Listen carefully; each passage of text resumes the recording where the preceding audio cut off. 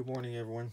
Here's another custom built Mad Max style VW Beetle Bug.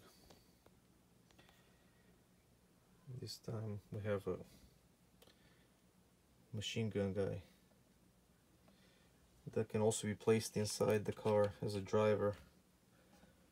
He's removable as you can see as a seat machine gun uh, blown out engine in the front. And a engine in the back dual engine beetle with pipes uh, exhaust pipes sticking out. Only thing you would expect from a Mad Max vehicle.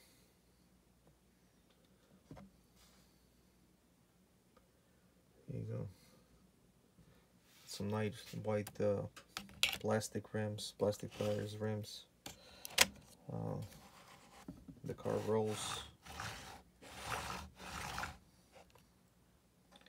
Interior, again, all the battle damage rust and scratches all over.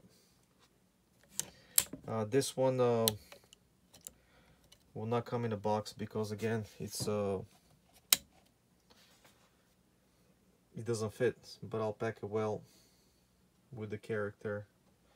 It's got a nice little mohawk going.